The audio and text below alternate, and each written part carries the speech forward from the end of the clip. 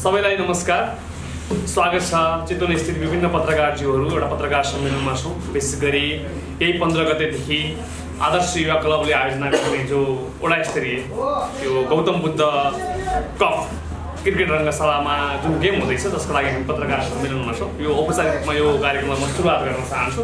विशेष गरी यो पत्रकार सम्मेलनको अध्यक्षता ग्रहण गरिदिनु हुन चितवन आदर्श युवा क्लबका अध्यक्ष आदरणीय व्यक्तित्व उमाकान्त आचार्यज्यूलाई म विशेष अनुरोध गर्छु।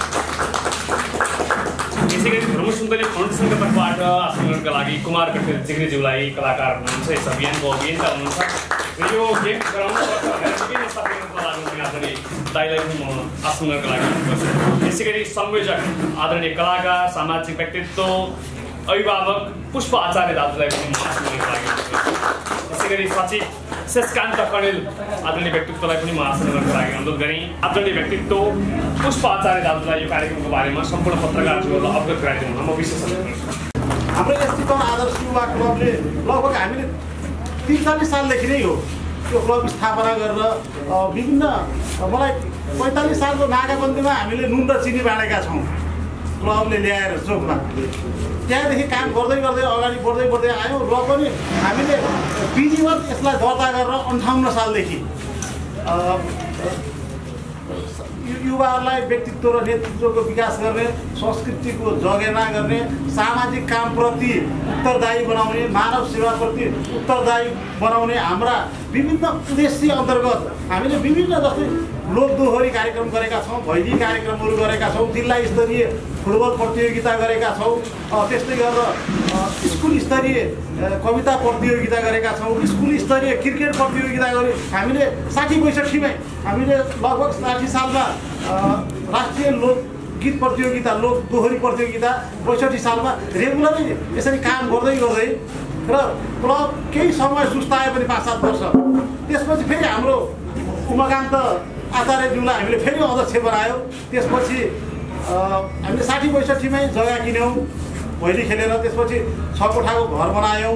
अनि त्यसलाई फेरि उहाँ अध्यक्ष भइसकेपछि फेरि भैली खेलेर चार पाँच लाख रुपियाँ उठाएर फेरि क्लबको घर तयार गर्ने काम बााउन्ड्री गर्ने काम र दुई वर्ष अगाडिदेखि जापान गोजुरियो कराटेलाई पनि त्यसै अन्तर्गत राखेर हामीले इन्डो नेपाल च्याम्पियनसिपमै थर्ड र फोर्थ हामीले सम्पन्न गरिसकेका छौँ। र त्यो यो हजुरहरूलाई अवगतै छ। र यो स्टेडियम यहाँ बन्ने भनिसकेपछि मलाई एउटा यो रामपुर हो यो ठाउँको नाम। अझ पूर्व रामपुर त्यसमा रामपुर क्याम्पसभित्र र हाम्रो टोलमा। धुर्मु सुन्तली फाउन्डेसनले रामपुरमा क्रिकेट स्टेडियम बनाउने। किन अरू ठाउँहरूमा बस्तीहरू बनाउनु भयो बाढी पीडितलाई सहयोग गर्नुभयो र यो रामपुरमा राम नै आएको जस्तो फिल भएको छ मलाई। किन मैले धुर्मुसको जुन त्यो योगदान देखेको छु रामपुरमा साँच्चै रामको जन्म भएको छ राम र सीता आइपुगेका छन् त्यो मेरो आफ्नो फिलिङ्स हो। किन मान्छेलाई सामान्य कुरो लागिरहे रहेको छ एउटा कलाकारको कलाकारितामा लागिरहेको मान्छे धेरै मान्छे पाइँदैनन् त्यसरी त्यो सामाजिक योगदान गर्ने राष्ट्रलाई योगदान गर्ने त्यो पनि यो राष्ट्रको सङ्कटपूर्ण कालमा गुज्रिरहेको बेलामा यसरी विकास र निर्माणलाई र देशलाई अगाडि बढाउनुपर्छ भनेर जुन त्यो एउटा आत्मविश्वासका साथ देशैभरिका मान्छेलाई यसरी जागर ल्याउन सकेर त्यो पनि हाम्रो गाउँमा आइपुग्नु हो रामपुरमा आउनुभयो त्यही भएर मैले फेरि धुर्मु सुन्दरीलाई राम र सीताको संज्ञा दिएको छु। हामीले राम र सीतालाई रामपुरमा पाएका छौँ। उहाँहरूको यो ठाउँमा जन्म भएको हो भन्न चाहन्छु म र उहाँहरूकै आग्रहमा धुर्मुस भाइकै आग्रहमा। पहिला नै दाइ एउटा तपाईँले वडा स्तरीय क्रिकेट खेलाउनुपर्छ क्लबबाट भन्ने पहिलादेखि नै कुरो भएको थियो। र हाम्रो बिचमा यो जापान गोजुरियोको चौथो इन्डो नेपाल च्याम्पियनसिप यो गएको माघको सोह्र सत्र अठारतिर हामी रोकियौँ। त्यसपछि फेरि कुमार कटेल भाइसँग मेरो फेरि दोस्ती भयो। भाइ ल दाइ गर्ने भए गरौँ न त। भनेपछि हामीले यो एकदमै माघको हामीले सोह्र सत्र अठार अन्तर्राष्ट्रिय इन्डो नेपाल च्याम्पियनसिप गराएका थियौँ। एकदमै गाह्रो छ पैसा उठाउन काम गर्न माग्न र त्यसको लगतै एकै महिनामा फेरि वडा स्तरीय यसमा पनि राम्रै बजेट खर्च हुँदैछ र हामीले उनातिसै वडाका अ, वडा अध्यक्षहरूसँग कोर्डिनेसन गरिसकेका छौँ र निमन्त्रण पठाइसकेका छौँ र बिस बिस हजार रुपियाँ इन्ट्री फी राखेका छौँ र यसबाट कति पैसा बच्छ यही फाउन्डेसनलाई नै निर्माणको लागि सहयोग गर्ने। हामीले खाजा खाएको पैसा मोटरसाइकलमा हिँडेको पैसा पनि लिएका छैनौँ। त्यसरी अहिलेसम्म लागि परेका छौँ र हामी पन्ध्र गतेबाट नै हामीले यो खेललाई अगाडि बढाउँदै बढाउनेवाला छौँ र हामीले यो कार्यक्रममा नेपाली राष्ट्रिय क्रिकेट टिमका प्रशिक्षक टिम क्याप्टेन पूर्व टिम क्याप्टेन राजु खड्गा उहाँलाई पनि सम्मान गर्दैछौँ। र मैले सायद यति नै होला यो प्रेस विज्ञप्तिमा। आफ्नो विज्ञप्ति वाचन गरिसक्नु भएको छ आधिकारिक विज्ञप्ति। जसमा पनि प्रष्ट भनिएको छ पूर्व राष्ट्रिय क्याप कप्तान राजु खड्कालाई सम्मान गर्ने त्यो सँगसँगै यो गेमलाई भव्य सभ्य बनाउनलाई पत्रकारहरू जगतले देशका कुना काप्चामा यो समाचारलाई सम्प्रेषण गरिदिन आह्वान गर्नुभएको छ। आशा छ चितवन एउटा यस्तो जिल्ला हो जुन जिल्लाको समाचारले नेपाल जिल्लालाई सुन्छ नेपाल समग्र नेपाललाई सुन्छ। त्यस कारण चितवनका अग्रज पत्रकारज्यूहरूले यो म्यासेज सम्प्रेषण गरिदिनुहुन्छ भन्ने आशा राख्दै ब्रह्म सुन्तली फाउन्डेसनका तर्फबाट आफ्ना केही भनाइराखेको हुन अभियानका अभियन्ता कलाकार कुमार। आदरणीय सभापतिज्यू र सम्पूर्ण विशिष्ट विशेष सम्पूर्ण अतिथिगणहरू विभिन्न खेलसँग सम्बन्धित प्रशिक्षक खेलाडी सम्पूर्ण पदाधिकारीज्यूहरू मैले नै नाम लिएँ त्यसै गरी आदर्श युवा क्लब भरतपुर पन्ध्रबाट उपस्थित हुनुभएका सम्पूर्ण पदाधिकारीज्यूहरू र विभिन्न मिडियाबाट पाल्नुभएका सम्पूर्ण आदरणीय पत्रकार महोदयहरू सबैजनालाई म धर्म सुन्तली फाउन्डेसनको तर्फबाट स्वागत सम्मान व्यक्त गर्न चाहन्छु। र जुन वार्ड स्तरीय खेल फागुन पन्ध्रबाट र रङ्गशाला निर्माणकै सहयोगार्थ भनेर आयोजना गर्न लाग्नु भएकोमा चाहिँ आदर्श युवा क्लबलाई म खेल खेल सम्पन्न गर्नका लागि चाहिँ बधाई तथा खेलको लागि शुभकामना पनि दिन चाहन्छु। पक्कै पनि यो चितवनको भरतपुरमा निर्माण भइरहेको गौतम बुद्ध अन्तर्राष्ट्रिय क्रिकेट रङ्गशाला यसको अपनत्व पहिला त यही क्षेत्रले नै चितवनले र विशेष गरी यही यही यहीँका जति वडा हुनुहुन्छ जति खेलप्रेमी महानुभावहरू हुनुहुन्छ जति चितवनलाई माया गर्नुहुने चितवनवासी हुनुहुन्छ उहाँहरूले नै पहिला त यसको संरक्षण यसको प्रवर्धन र यसलाई चाहिँ कसरी अगाडि बढाउने भन्ने कुरो त यहाँहरूकै हातमा हुन्छ। हामी सहयोगीको हिसाबले यो सम्पन्न गर्नका लागि दिनरात लागि परिरहेका छौँ। र रङ्गशाला बनाएर मात्रै पनि हुँदैन। हामीले छलफल गऱ्यौँ। यो च्यारिटी गेम हुने यो नमुना क्रिकेट ग्राउन्डमा दिनौँ गेम हुन्छ। अहिले पनि देख्नुहुन्छ गेम भइरहेछ यहाँ। यही रङ्गशाला निर्माणका लागि भनेर काठमाडौँका विभिन्न एकाडेमीबाट आएर पनि यहाँ खेल खेलिरहनु भएको छ। चितवनको एकाडेमीबाट आएर पनि खेल खेलिरहनु भएको छ। यता कलैयाबाट पनि आउनु भएको छ। विभिन्न ठाउँबाट आएर रङ्गशाला निर्माणलाई यसरी खेलाडीहरू आएर खेलिरहँदाखेरि भोलि रङ्गशाला त बन्ला तर यो क्षेत्रबाट पनि खेलाडीहरू उत्पादन हुनुपर्छ। चितवन भनेको क्रिकेटको लागि साँच्चै एउटा उर्वर भूमि हो। आज त्यसको प्रतिनिधित्व त सन्दीप लामी छानेज्यूले गरिरहनु भएको छ।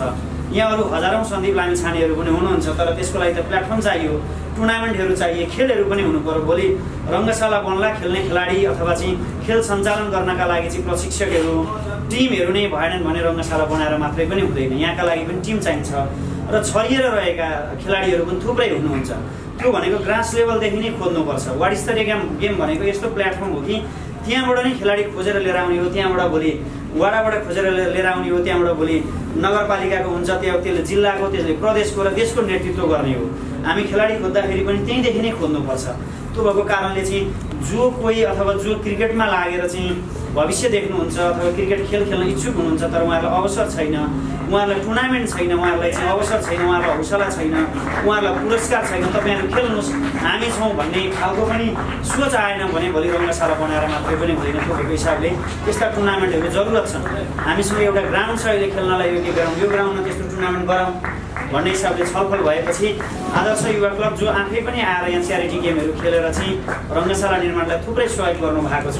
सहयोग गरिरहनुहुन्छ आएर हौसला प्रदान गर्नुहुन्छ त्यत्तिकै आएर पनि गेम हेर्नुहुन्छ।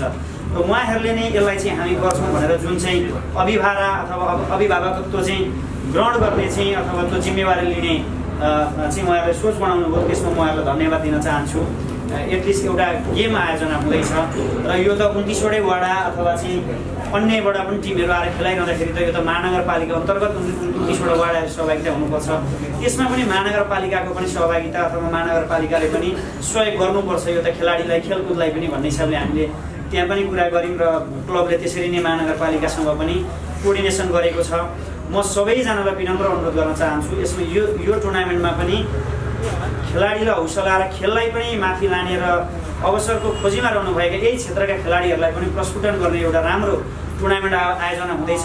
सम्पूर्ण वाडाहरूलाई एकदमै यसलाई सकारात्मक रूपमा लिइदिएर चाहिँ तपाईँको तपाईँहरूको वाडामा रहेका खेलाडीहरूलाई एउटा अवसर हो यो। होइन त्यो त्यसरी पनि सहयोग गरिदिनु हुनका लागि अनुरोध गर्न चाहन्छु। महानगरपालिकालाई पनि विशेष धन्यवाद र महानगरपालिकालाई पनि अनुरोध गर्न चाहन्छु महानगरपालिका अन्तर्गतका सबै वाडाहरू आएर चाहिँ गेम खेल्ने हुँदाखेरि हरेक वाडासँग चाहिँ सहकार्य अथवा कोर्डिनेसन गरिदिनका लागि पनि म अनुरोध गर्न चाहन्छु। र चितवन जिल्लामा बस्नुभएका सम्पूर्ण नेपाली दाजुभाइ तथा दिदीबहिनीहरू विभिन्न सङ्घ संस्थाहरू थुप्रै हुनुहुन्छ। यहाँले रङ्गशाला निर्माणलाई बहुत धेरै ठुलो सहयोग गर्नुभएको छ। अभियान सञ्चालन गर्नुभएको छ। विभिन्न उद्देश्यले विभिन्न समयमा चाहिँ रङ्गशाला निर्माणको लागि जुटिनै रहनु भएको छ। यो अभियानलाई पनि तपाईँहरूले जे सक्नुहुन्छ त्यो खेलाडीको लागि यही क्षेत्रका खेलाडीलाई चाहिँ माथि ल्याउनका लागि र फेरि पनि रङ्गशालालाई एउटा इटा थप्नका लागि आयोजना हुन गइरहेको यो गेम हुँदाखेरि जे सक्नुहुन्छ किनकि टुर्नामेन्ट अवधिभर पानी खानुपर्छ खेलाडीहरूले होइन फलफुलहरू खानुपर्छ जुस खानुपर्छ मेडिकल टिम चाहिन्छ यहाँ ट्रफी मेडल प्रमाणपत्रहरू हुन्छन्। कुनै म्यान अफ द म्याचलाई कसैले स्पोन्सर गरिदिनु भयो भने पनि त्यो खेलाडीलाई इन्सपायर गर्छ किनभने उसले अझ राम्रो खेल्छु भन्ने सोच बनाउँछ। टुर्नामेन्टमा विभिन्न तरिकाले जोडिन सक्ने अवसरहरू धेरै छन्। त्यो भएको कारणले त्यसरी पनि जोडिदिनु हुनका लागि तपाईँहरूकै मिडिया मार्फत चाहिँ म अनुरोध गर्न चाहन्छु र सबैजनालाई यो खेलकुद नेपाली खेलाडी नेपाली खेलकुदलाई चितवन जिल्लाबाट चाहिँ खेलाडीहरू उत्पादन गर्ने पनि एउटा टुर्नामेन्ट भ हुने हुँदाखेरि सबैजनाले सकारात्मक रूपमा चाहिँ यसलाई चाहिँ सकेको सहयोग गरिदिनु हुन पनि अनुरोध गर्न चाहन्छु र चितवनबाट जति पनि मिडियाहरू यहाँ म देखिरहेको छु सबैजनाप्रति धेरै धन्यवाद दिन चाहन्छु। रङ्गशाला निर्माणका कुरालाई होस् चाहे यसका प्रचार प्रचारका कुरालाई होस् अथवा यहाँ कति धेरै दान गर्न आउनुहुन्छ सहयोगी मनहरू उहाँहरूलाई पनि एउटा स- सद्भाव अथवा सम्मान गर्ने हिसाबहरूले यहाँहरूले धेरै चाहिँ यो अभियानमा जुटेर चाहिँ एउटा अभियन्ताकै हिसाबबाट दिनरात नभनिकन सहयोग गरिरहनु भएको छ। सम्पूर्ण मिडियाबाट उपस्थित हुनुभएका सम्पूर्ण आदरणीय महानुभावहरूलाई पनि विशेष धन्यवाद व्यक्त गर्न चाहन्छु र यो वडा स्तरीय गेमलाई पनि भोलिका दिनमा आफ्नै टुर्नामेन्ट सम्झिएर आफ्नै क्षेत्रको टुर्नामेन्ट आफ्नै दाजुभाइहरूलाई प्रमोट गर्ने र आफ्नै रङ्गशालालाई चाहिँ बनाउने अभियानलाई सहयोग हुन्छ भन्ने हिसाबले यहाँहरूले चाहिँ राम्रोसँग सूचना समाचार र सम्प्रेक्षण गर्दा सम्प्रेषण गरिदिनु भयो भने पक्कै पनि हाम्रो उद्देश्य पुरा हुन्छ। म सबैजना सबै उपस्थित सम्पूर्ण महानुभावहरूलाई फाउन्डेसनको तर्फबाट पनि धन्यवाद दिन चाहन्छु र गेम आयोजना गर्नुपर्छ भन्ने हिसाबले विभिन्न चरणमा फाउन्डेसनबाट पनि सर सल्लाह यसो गरौँ र यसरी गर्नुपर्छ अथवा स्पोन्सर ल्याउने कुरामा जुटाउने कुरामा सहयोगी मनहरू जुटाउने कुरामा म पनि एउटा चाहिँ क्लबकै सदस्य नै जसरी आफू पनि संलग्न भएर खटि नै रहेको छु। हामी मिटिङ गर्छौँ यसो गरौँ त्यसो गरौँ भनेर। यो क्लबले आयोजना गरोस् अथवा फाउन्डेसनले निर्माण गरिरहेको रङ्गशाला होस् सबै चिजलाई बिर्सिँदाखेरि हामी सबै नेपाली सबै नेपाली मिलेर रङ्गशाला बनाइरहेका छौँ। त्यो भएको कारणले मेरो पनि त्यहाँ चाहिँ कन्ट्रिब्युसन अथवा मैले पनि प्रचार गरिदिएँ भने मैले पनि यो अभियानलाई माथि पुर्याउनका लागि चाहिँ पहल गरिदिएँ भने हाम्रो रङ्गशाला बन्छ भन्ने हिसाबले सबैले रङ्गशाला निर्माणलाई पनि ग्रहण गरिदिनु हुन्छ भन्ने आशा गरेका छौँ। र बाँकी त सबै कुरो मैले बताइ नै हालेँ। सबैजनालाई चाहिँ चितवनमा सायदै वार्ड स्तरीय गेम पनि अलिक धेरै पछि नै हुन लागेको होला जस्तो पनि लाग्छ म। होइन अहिले हामीसँग ग्राउन्ड छ। यस्ता टुर्नामेन्टहरूको जरुरत छन्। यो पछाडि भोलि प्रदेशका गेमहरू जिल्लाका गेमहरू धेरै गराउन सक्ने अवसर छन्। भोलि रङ्गशाला निर्माण हुँदा चितवनको पनि एउटा गजबको राष्ट्रिय स्तरमा नै चाहिँ रिप्रेजेन्ट गर्ने नयाँ खेलाडीहरूको साँच्चै देशलाई नै माथि पुर्याउन सक्ने खेलाडीहरू उत्पादन हुनुहोस्। यो क्षेत्रले प्रतिनिधित्व गरेर नेपालको नाम विश्वमा भोलि चिनिँदाखेरि हामी पनि संलग्न भएका थियौँ है। यसरी टुर्नामेन्ट गर्दै गर्दै हामी पनि त्यो त्यसमा सहभागिता जनाएका थियौँ है भन्दा हामीलाई पनि गर्व नै महसुस हुन्छ होला। सबैजनालाई सफलताको शुभकामना दिँदै यहाँहरू सबैजनाप्रति सम्मान व्यक्त गर्न चाहन्छु। हस् नमस्कार। पत्रकार सम्मेलनको अन्तिम अन्तिममा पनि छौँ। त्योभन्दा पहिला केही प्रश्नहरू तपाईँहरूबाट छन् भने त्यो प्रश्न राखिदिनु पनि अनुरोध गर्दै र जवाबको लागि उहाँहरू समिति तयारी अवस्थामा हुनुहुन्छ। जस्तो यसमा चाहिँ कतिवटा टिम हुने हो होइन? अनि त्यसपछि खुल्ला खुल्ला वडा स्तरीय भन्नुभएको छ। अब त्यो सहभागी टिमहरूमा चाहिँ कस्तो कस्तो कुन लेभलको प्लेयरहरू हुने हो पुरै पनि हामीले हाम्रो उनातिसवटा वडा छ होइन। उनातिसवटामा अहिलेसम्ममा अठाइसवटाको चाहिँ अठाइस सत्ताइसवटा वडाको चाहिँ हामीसँग लगभग हामी सम्पर्कमा छौँ। उहाँहरूले हामीलाई खेलाडीहरू पठाउने वडाबाट चाहिँ र वडाको खेलकुद संयोजकज्यूहरूसँग हामी अ, उसमा सम्पर्कमा छौँ र उहाँहरूले अहिले पनि सत्ताइस नम्बरको साथीभाइहरू आउँदै हुन्छ यहाँ इन्ट्री गर्नको लागि अ, र अ, अठार र उनातिसबाट चाहिँ उनातिस अलिकति त्यो त्यता खेलाडीहरू कम भएको हुनाले त्यहाँ मानबहादुर कमरज्यू हुनुहुन्छ त्यहाँको उनातिसमा हाम्रोमा खेलाडी अलिकति अभाव छ भनेर भन्नुभएको छ त्यो बाहेक सत्ताइसवटा हाम्रो चाहिँ बत्तिसवटा बनाउने भन्ने उद्देश्य हो बत्तिसदेखि चालिस र हामीले राजु खड्का नेपालको राष्ट्रिय टोलीका पूर्व कप्तान उहाँले के भन्नुभयो भने अलिकति क्लबहरूको चाहिँ त हाम्रो यो क्लबले नै गरे हो त। क्लबहरू पनि छ राधापुरमा छ घ्या छ भरतपुरमा छ त्यो क्लबहरूले दुई चारवटा पाँचवटा राम्रो राम्रो टिम भएको उनीहरूलाई पनि इन्क्लुड गर्नुहोस् भनेको हुनाले हामीले त्यसरी त्यो खेलाउँदाखेरि अलिकति विक टिम मात्रै हुन्छ कि? अलिक राम्रा टिमहरूलाई पनि कम्पिट गराउने र उनीहरूसँग खेल्दाखेरि त्यो अनुभव पनि सानो सानो गर्ने कुरो हार र जित त हुन्छ नै। त्यो हिसाबले हामीले एउटा एउटाकै मात्रै गराउने भन्ने कतिको पनि छ। आइरहेको थियो तर हामीले पाँच सातवटा चाहिँ राम्रो टिम पनि। क्लबहरूसँग राम्रो राम्रो टिम छ। तिनीहरूसँग हाम्रा वडाका कति कमजोर खेलाडीहरू उहाँहरूसँग खेल्दाखेरि अनुभवकै आधारमा पनि त्यो टेक्निक सिक्ने कुराहरू हुन्छ त्यो अनुभव बटुल्ने कुराहरू हुन्छ। त्यो हिसाबले हामीले यसलाई खुल्ला पनि त्यो हिसाबले चाहिँ खुल्ला र वडा स्तरीय नामाकरण गरेर त्यसरी नै इन्ट्री पनि गराउँदैछौँ। टी ट्वेन्टी फर्मेटमै हुने हो। हो टी ट्वेन्टीमै फर्मेटमा यसको के छ यो आम्दानी के अब यो खर्च कति छ यसको होइन? सबभन्दा त अब कति पैसा यो टुर्नामेन्ट आयोजना कति खर्च हुन्छ? अब तपाईँहरूले कति आम्दानीको एक्सपेक्ट गर्नुभएको छ? कति जति त्यो रङ्गशालालाई दिन सकिने अवस्था रहन्छ? यस- यसैमा म अर्को जोडिहाल्छु जस्तो अहिले यहाँ भइरहेछ यो गौतम बुद्ध अम, एक दिवसीय क्रिकेट भनेर यो भइरहेछ यसको चाहिँ विजेताले जितेको फिफ्टी पर्सेन्ट रङ्गशालालाई दिने भन्ने कुरा छ होइन? त्यसको चाहिँ उहाँहरूले चाहिँ अझ फिफ्टी पर्सेन्ट भन्दा पनि धेरैले त जितेको सबै नै दिने भन्ने पनि छ। फिफ्टी पर्सेन्टभन्दा माथि चाहिँ कन्ट्रिब्युसन गर्ने भन्ने कुरो छ। आयोजकको अध्यक्षसँग। चाहिँ मेरो कुरा भएको थियो। उहाँले फिफ्टी पर्सेन्ट चाहिँ एटलिस्ट दिने विनर टिमले जित्ने टिमले भन्नुभएको छ। अनि प्रत्येक दिन पन्ध्र हजार रुपियाँ चाहिँ यो चाहिँ ग्राउन्डको छ। यस्तै चाहिँ अब यसमा एक लाख रुपियाँ भन्नुभएको छ विनरले होइन? अब भोलि उहाँहरूले चाहिँ फिफ्टी पर्सेन्ट चाहिँ त्यो यसको त्यो मोटिभ हुन्छ नि मुख्य उद्देश्य नै रङ्गशाला निर्माणलाई आर्थिक सहयोग जुटाउनको लागि खेलाइएको खेल हो। मैले वडा अध्यक्षज्यूलाई पनि एक किसिमको त्यो हाम्रो अन्तरङ्ग भइराखेको छ उहाँसँग। जसले जित्छ अब त्यो हामीले एक लाख रुपियाँ दिने कि नदिने भन्दा दिने। हौसलाको लागि पनि र जो जित्ने टिमले सकेसम्म वडाले वडाले जित्यो भने पक्कै पनि हामीलाई यहाँ छोडेर जानुहुन्छ भने हाम्रो चाहिँ त्यो मा त्यो हामीलाई आश हो त्यो। किन हामीले त्यो खेलाडीलाई त्यो उत्साह बढाउनको लागि पुरस्कार पनि त राख्नै पऱ्यो किन हामीले बिस लाख रुपियाँ अरे बिस हजार राखेका छौँ। हाम्रो तिसवटा टिम भने छ लाख रुपियाँ त्यहाँबाट आउँछ। र हामीले थोरै महानगरले पनि हामीलाई सहयोग गर्ने वचन दिनुभएको छ। त्यो बाहेक हामीले सानातिर पाँच हजारका दस हजारका बिस तिसवटा ब्यानरहरू उठाएर हामीले आठ दस लाख रुपियाँसम्म चाहिँ गराउन सक्छौँ होला। र हाम्रो त्यो अहिलेसम्मको त्यो सिनारी हेर्दाखेरि र यसमा चाहिँ खर्च चाहिँ एकदमै नि हुन गर्ने मैले अहिले भनिसकेँ खाजा खाएको पैसा पनि हामीले हामी हिँडेका छौँ जोडेका छैनौँ। मोबाइलको खर्च पनि जोडेका छैनौँ। र जति दिनै जस्तो यो ब्यानर बनाउनु पऱ्यो सामान्य साढे दुई सय पाँच सय त्यो चाहिँ दिनै पर्छ। र प्रथम पुरस्कार द्वितीय पुरस्कारको लागि हामीले सकेसम्म स्पोन्सरहरू नै खोज्ने प्रयासमा छौँ। र त्यो कुरो कुरो अगाडि पनि बढ्दैछ।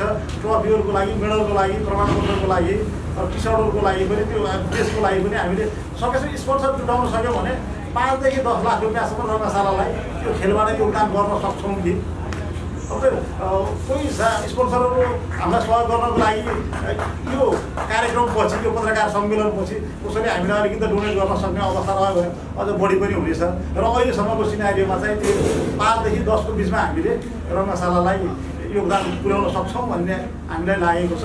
र खर्च हामीले सकेसम्म कटौती गर्छौँ र खर्च चाहिँ कहिले एम्पायरहरूलाई पनि एकदमै न्यून उसमा र सकेसम्म नलिदिनु होला किन हाम्रो मोटिभ नै अर्को छ नि त खेलाएर क्लबले पैसा कलेक्सन गर्ने नाफाको लागि गरिएकै होइन यो। मेन कुरो नै खेलाडी उत्पादन होस् यो रङ्गशाला बनिसक्दाखेरि यसको त्यसो ब्याकअपको लागि खेलाडीहरू पनि हामीले उनातिसवटाबाट र अलिकति गैँडाकोटबाट पनि मैले त्यो गैँडाकोटसँग कल गरिरहेको छु मेरो साथसँग। त्यहाँका खेलाडीहरूलाई नै हामीले बोलाएर दुईवटा टिम जति तयार गर्नु सक्यो। रङ्गशाला बनिसक्दाखेरि त हाम्रो महानगरको पनि एउटा दरो टिम हुन सक्यो भने यसको उद्देश्य खेलाडी उत्पादन गरेर अहिलेलाई थोरै भए पनि आर्थिक सहयोग जुटाउने त्यति दुईवटा उद्देश्य मात्रै छ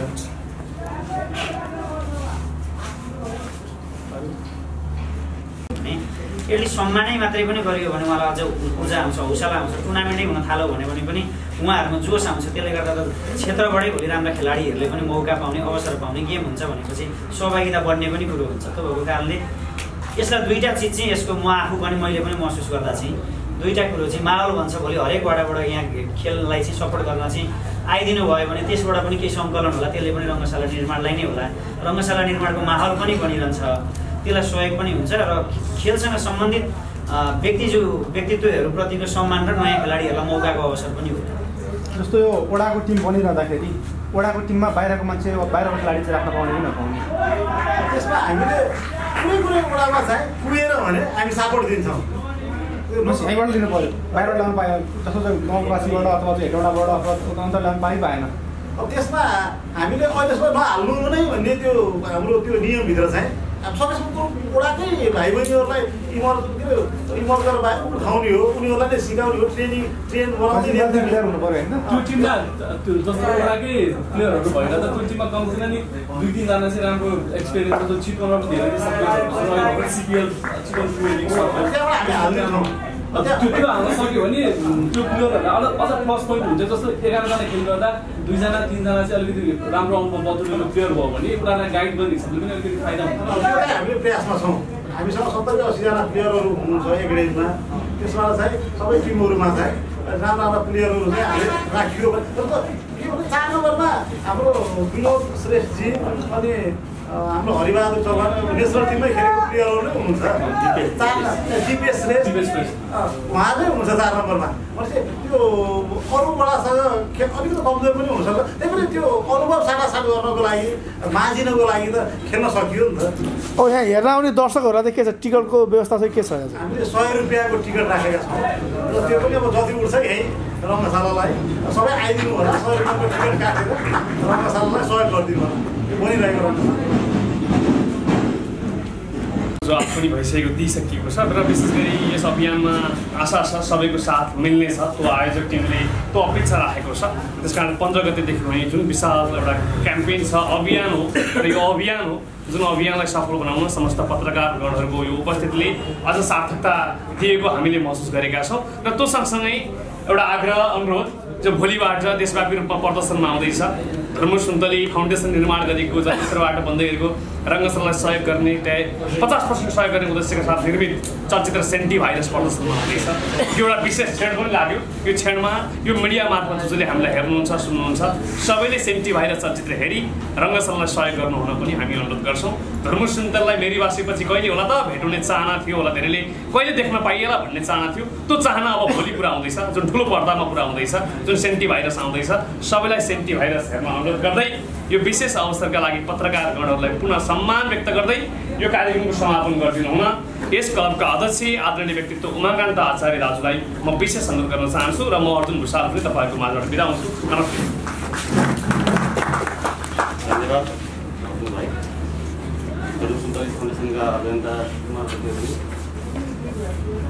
साथीहरू। र यहाँ पनि हुनुभएका पत्रकार बन्धुहरू यहाँसम्म आउनुभएकोमा धन्यवाद दिँदै उहाँहरू पत्रकार सम्मेलनमा समापन भएको